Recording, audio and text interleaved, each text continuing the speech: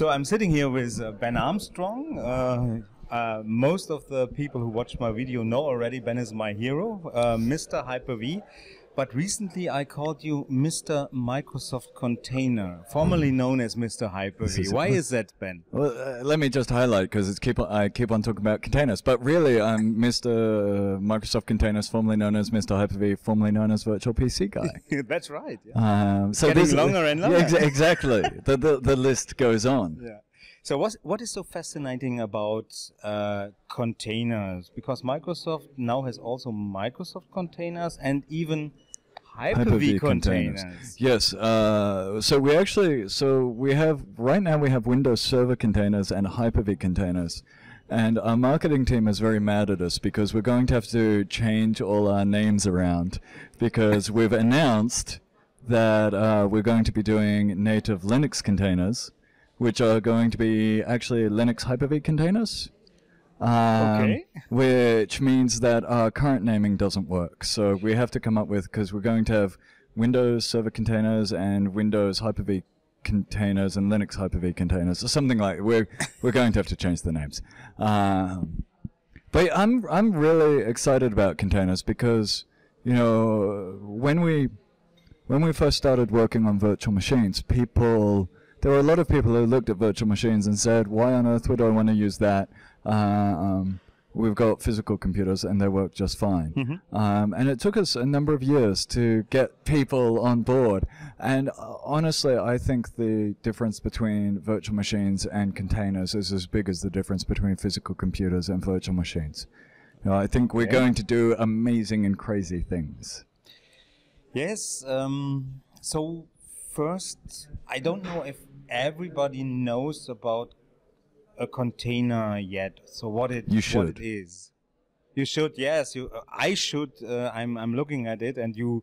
You asked me all the time. I should learn containers. abso- absolutely. Yeah. So Ben, container is usually a thing, a, a, a huge thing where you put stuff in, and it's on ch- huge chips. So that is, is a container, right? The, yes. So what is a container in a computer context? And it's you compared it to virtual machines. Yes. So what is the advantage of a container? So, I mean, the, at a kind of a, a 20,000 foot view, Yeah. um, virtual machines and containers look very similar. They're both technologies that allow you to get new copies of operating systems to play with and do things with. Um, however, when we built virtual machines, uh, we really built them to look and feel like physical computers. You know, they have hard drives, they have network adapters, they have video cards, and everything. They have an ISA bus. Yeah, every- Generation one has yeah, an ISA every- bus. every- right? Everything looks and feels like uh, uh, a physical computer. With containers, um, we kind of noticed. I don't know if you've noticed this. No one really does anything for physical computers anymore. Um, we build things for clouds. Yeah. And so with containers, we kind of went back and said, what does it look like to build a virtualization thing that is designed for the cloud? Um, and that's where we came up with containers. And it's it's virtualization at a different layer in the technology stack. There's a whole bunch of different approaches. Um, and the the results are pretty amazing. You know, the containers use a hugely less memory, less CPU, less disk. They're a lot faster. They're um, and it really can change the way that you think about things. Okay. Um, a- an advantage I see is you are sharing the operating system. So you have one you have one installation of an operating system, and then several containers can use that and build on that, right? Yes.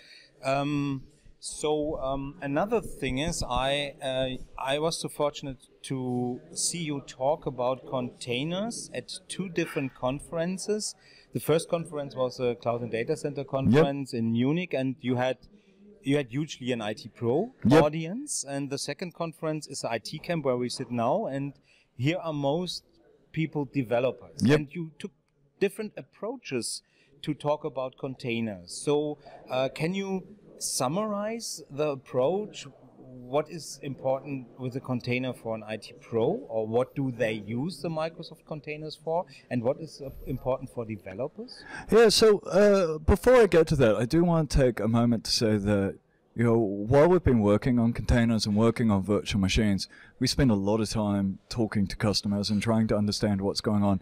And honestly, one of the concerning things that we see is we see a lot of companies right now where the developers and their IT staff aren't really talking to each other. Mm, Um, and that's a that's a problem for everyone. You It know, um, if that's happening in your company, please stop it. Um, I, I know it's not fun talking to other people, but you have to work together. Um, and uh, in a lot of ways, I think uh, containers are a very useful tool to to help bring people to the table and, and talk about it because um, you know I, I do talk very differently because you know when I'm talking to IT pros and I was uh, I've, I've actually it's been fantastic. Over the last month I've done two very IT pro heavy conferences and I've done two very developer heavy conferences. Um, when I talk to IT pros, I I like to talk to them about, you know, I'll ask them, hey, do you have uh, ASP.NET applications in your environment? And most people do. Yeah.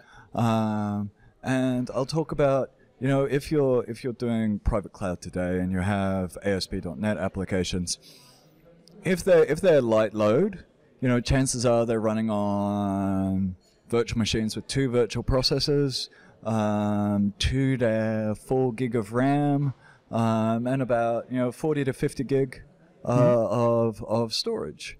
Um, and if you've got a dozen of those, you're now looking at about 50 gig of RAM and you know half a terabyte of storage. Yeah. Well, you can take a dozen, you know, ASP.NET applications, put them in Windows containers on a single Windows Server 2016 virtual machine. Now you can run that whole workload in six gig of RAM and you know, you know. A like a hundred gig of hard drive, you know, and that's huge. That's you know, uh, Yeah. you know, an eight x saving on memory and and so on. And you know, uh, it's been a while since we've had those sorts of efficiency savings. Um, on the developer side, you know, one of the, the big things that containers really bring to into play is that um, you can you can unlike a virtual machine with a container, you can create a brand new Windows Server container completely clean but completely ready to go in two three seconds. Um, and why is that important? Because now develop like all developers know that they should be testing their code in clean environments, but it's too much effort, you know, and it slows them down too much, and so they don't tend to, and it introduces problems. Uh, but now they can use containers, and it's very easy and lightweight to always create a clean environment to test your application in.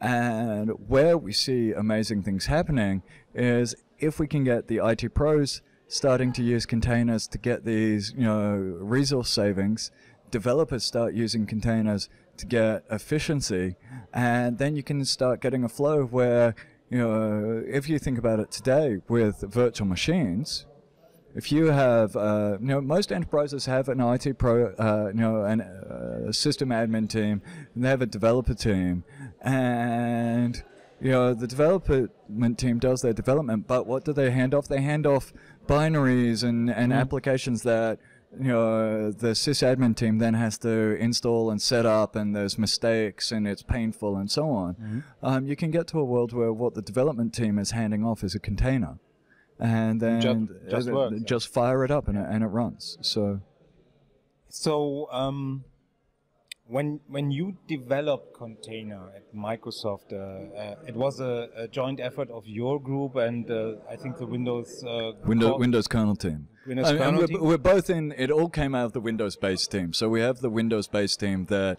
we have a bunch of teams in there um, that we're all in the same building and we all work very closely together. So So um, when you uh, worked on container, you had a uh, a use case in mind for what containers will be probably used, and you told me um, you thought of that use case, but uh, most of the use is something else. So Yeah, can yeah. you uh, Yeah, explain what what I mean? Yeah, absolutely. This is one of the things. You know, I've been uh, I've been working in you know kernel and virtualization technologies for about twenty years now, and uh, in that time I've been able to you know be involved in bringing a number of new technologies to market, and it always makes me laugh because when when you're building a brand new technology. Uh, it's hard to get feedback from users as to what they're going to do with it. You know, if I had come to you three years ago and tried to describe a container and ask you what you would use it for, um, I don't think that would have been a very useful conversation. No, no, no not at all. um, and so when we're working on first releases, we have to take uh, a lot of guesses. And uh, when we were working on containers, um, we really we really thought that what we were going to see was that we were going to see that containers were only going to be interesting to developers for a while and that we were going to go through a couple of iterations where developers were using it to help them build new applications and only once those applications started getting mature would it start being interesting uh, to more of the ops side and the, the sysadmin side. Uh, but we've been absolutely amazed that we are seeing huge numbers of IT pros being able to take, you know, existing .NET and Java applications and drop them in containers and get huge operational savings out of doing that. Um, and it's, it's blown us away. Um, it's been great to see. Yeah, you even uh, said that a lot of Windows Server 2003 there shouldn't be that that uh, virtual machines or applications anymore because it's not supported. But uh, there are companies who have huge success supporting that applications into containers. Right? Yeah, which is fantastic. We're very happy to see that. No one should be using Windows Server 2003. Stop it, please.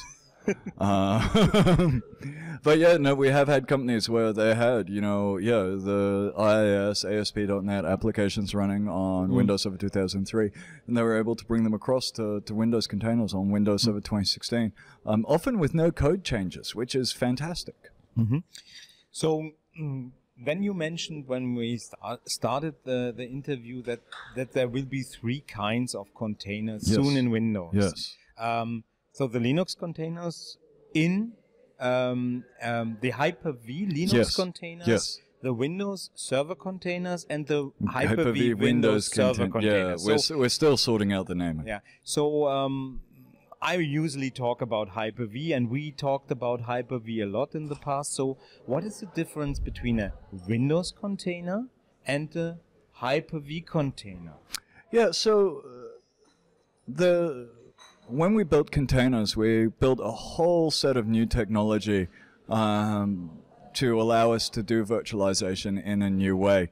And uh, one of the interesting things in doing that is that it allowed us to do it basically allowed us to do virtualization without a hypervisor anymore. So when you use Windows Server containers, you're getting virtual instances of Windows without needing a hypervisor.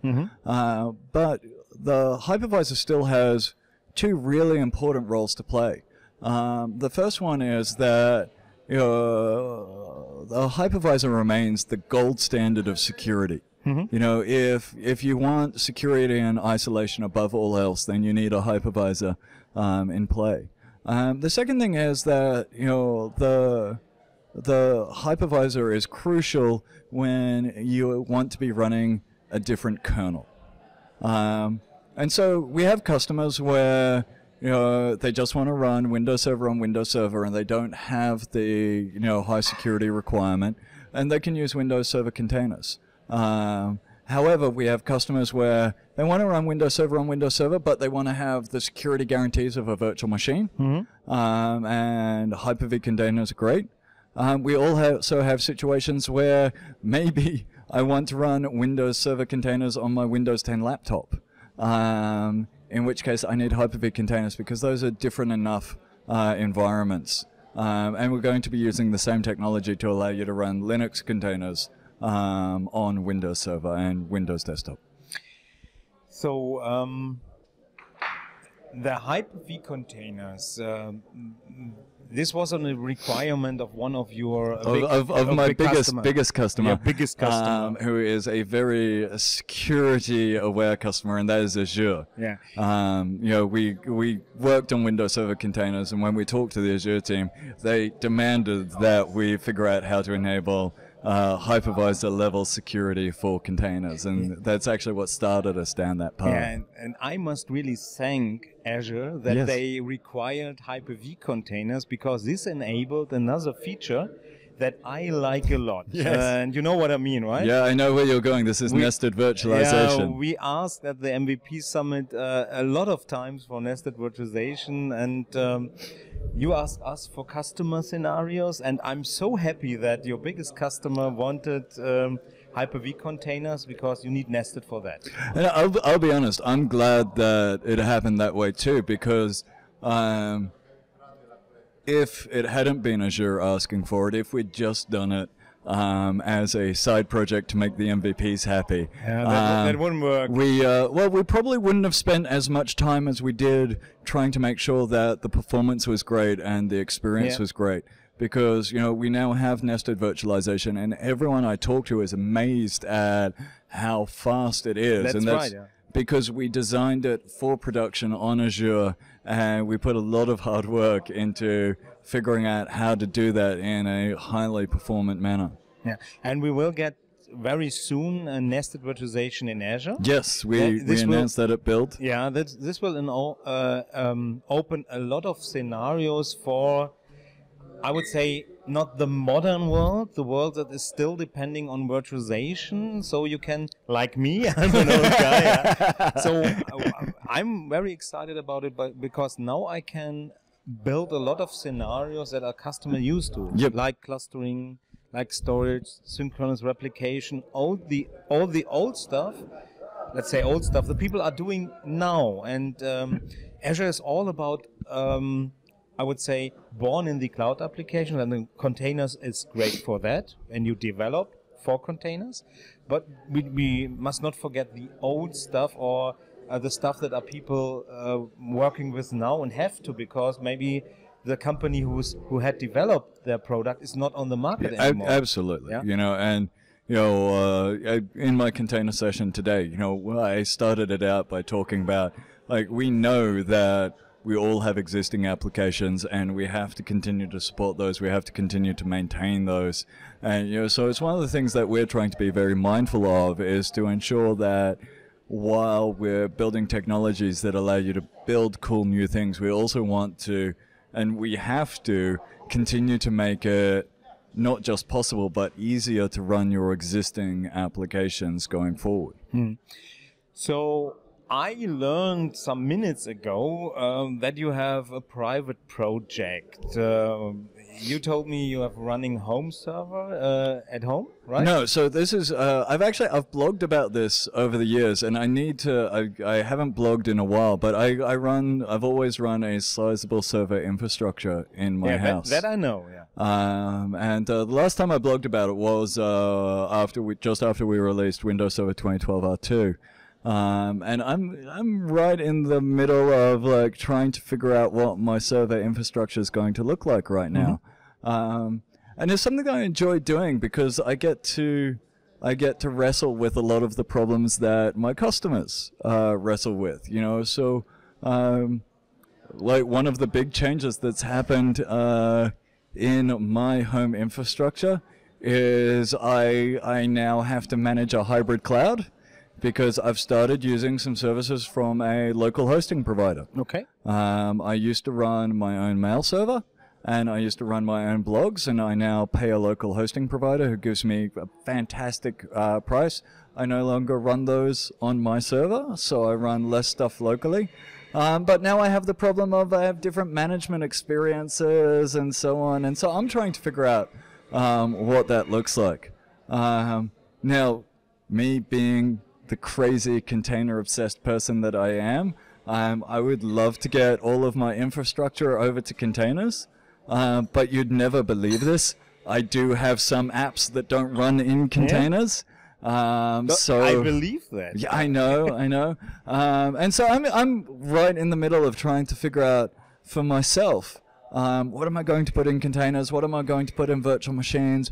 What am I going to use uh, hosted services for?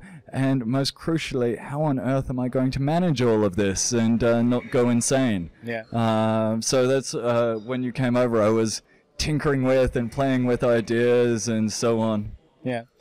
So um, I was I was thinking um, when you develop containers, or usually containers are known for a stateless, stateless. So you fire up a container, you use it for something, and when you destroy it or uh, put it down, the data is gone. So you have to store your data somewhere else, maybe in a PaaS uh, PaaS SQL or, or whatever. But when you told us a lot of uh, applications are moved to containers, and we have even SQL for containers, they are not stateless anymore. So Correct. there ha- we have some new um, challenges there, right? Yeah, and I mean, uh, kind of a, a two-part answer here. The first one is when, it- like, I, I containers are a brand new technology, Yeah. um, and I always get grumpy when people make sweeping architectural statements about brand new technology because we don't know. We might be wrong. People like people use our technology in ways that we don't expect Yeah. all the time. Um, so I I've always got grumpy when people have been like, "Oh, containers are stateless and they're used for this sort of apps," and I've always been like, "Well, actually, why don't we wait and see?" Um, and sure enough, you know, people, pe- yes, they work great for stateless apps, but people are absolutely using them for stateful apps.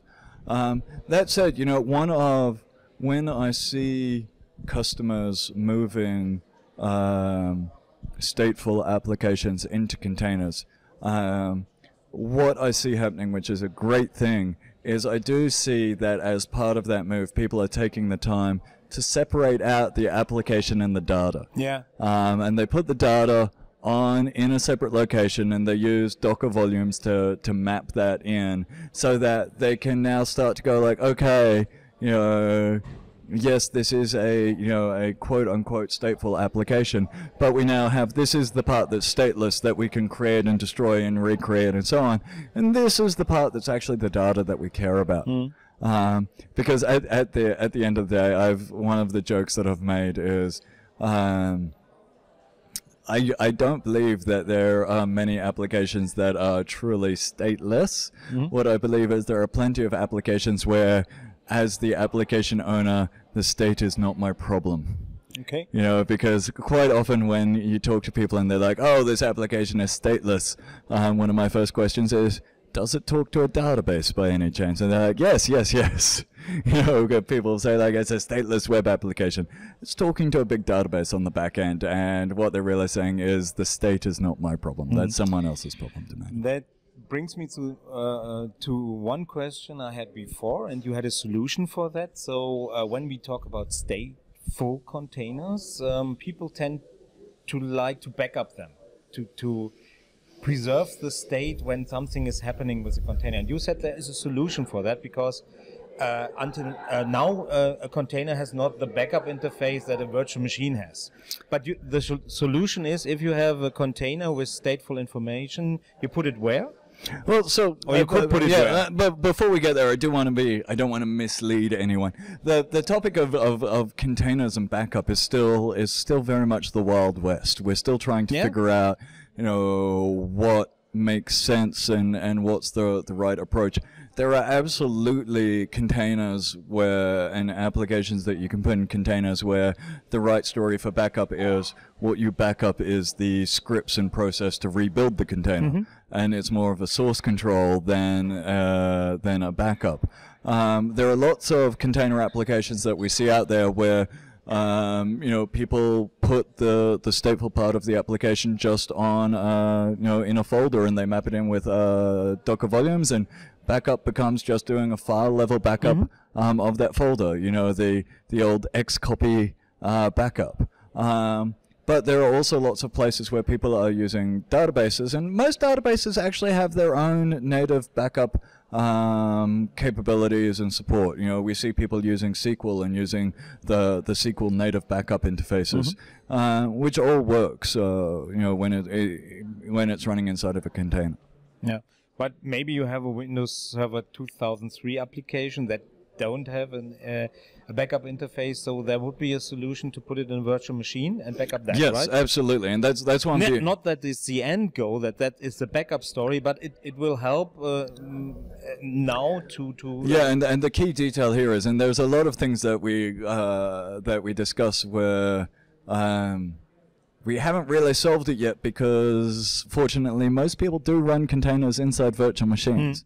Of course, in thinking about my home setup, I'm going to be running containers on bare metal because it's the sort of person I am. um, I like go to the hard way. I like to make life hard for myself. Okay. Um, I was today in a Kubernetes session, and uh, I must confess, uh, I heard about Kubernetes a lot. Um, until I would say half a year ago, I didn't know what Ku- Kubernetes is doing. Um, Kubernetes is, is something Google uh, open sourced Yep. now, and I learned in the session that Google is doing everything in containers, Yes. even their virtual machines. Yes. And that is for me, as a guy who- who coming from hardware into virtual machines, a complete different concept. Uh, so that would mean uh, a virtual machine can run in a container. Yep. We talked about Hyper-V containers. Yep. There, a container uses the Hyper-V Yep. isolation technology, right?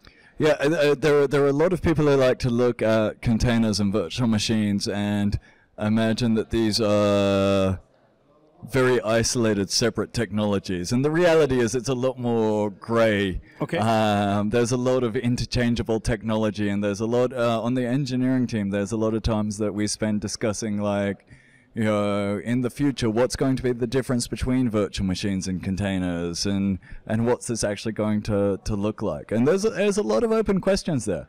You know, there's you know, from a technical reason, there's no reason why you couldn't run virtual machines in containers, or containers in virtual machines, or containers in containers, and virtual machines in virtual machines. It's all about trying to figure out what makes the most sense for our customers. Yeah, but wouldn't you lose one of the key advantages of container, the sharing of the operating system or lower layers, so that what, what I get at a, at a big advantage is you have one Windows Server image and you share it with your containers. So you have a lot of savings, and we talked about And, that. and that that is one advantage, but another advantage, which is I, I believe one of the big reasons why Google went with the path that they did, is that containers are a great way to get a very quick, clean environment to run your things in. Okay. Um, and so they're they're interested in, in that angle and being able to just very get get quick, clean environments for, for running things, even if those things are virtual machines. hmm Okay, last question is I already talked uh, asked or talked about Kubernetes, and there are others like Docker Swarm Uh, and Doc- Mesosphere Docker Data Center. Docker Data Center, and And uh, of course, uh, the Azure Container Service Fabric, yeah, and uh, there is one more, I think, Me- Mesosphere. Mesosphere with so the, the DCOS. yeah, what is that? So uh, It's what, not container; it's more. Or So what all- what all of these are, uh, you know, and this is, you know, if you remember back in the day, you know, we we, you know, first released Virtual Server and Hyper-V, and it was great. You could create virtual machines, and it was really exciting. But then what happened when you had four or five servers running 20 virtual machines? How did you manage them? um, and that's where we developed System Center. Um, but you know, all of these are they are enterprise grade container management and orchestration engines, so that you know if if you're if you're like me and you're going to be running a dozen containers on one or two servers in your house, you probably don't need any of these. Uh, but if you're an enterprise where you're looking at, okay, the end goal is we're going to have a cluster of, you know, eight physical servers running hundreds of containers, and we need to be able to make, you know, SLA statements and so on, then you're definitely going to want one of these pieces of software to monitor and orchestrate and oversee the containers in your environment. And that's what they're really about. hmm So what I learned, one advantage of, of containers is if you need, if you ha- have more demand, you can e- quickly sp- uh, spin up more of those containers. Yep. Uh, and uh, maybe one container dies, and you have to shoot up another one, So- and so on. So this is So one. what I, what I was fiddling with when you came over is I was trying to put together a reverse web proxy and play with scaling containers up and down because that's how you roll, right? you know I, I have a lot of dynamic workload in my household and uh, give, me, give, me, give me an example about your dynamic workload. okay okay actually doesn't happen in my household No, but I, I, I, like the I, I wanted to play with Yeah, it and that's that's what I was fiddling with actually uh, when you came across Okay, Ben. This was a nice interview. It had to. It had nothing to do about Hyper-V features. We Wait, were- well a Hyper-V little bit Hyper-V is in there, right? Hyper-V it is, or is it a lot? It's a lot Okay. So thank you for the interview, and Yes. uh, we see each, we have seen each other this month. We've, it was we've a seen lot, far right? too much of each other. okay. Thank you very much. Always good to chat.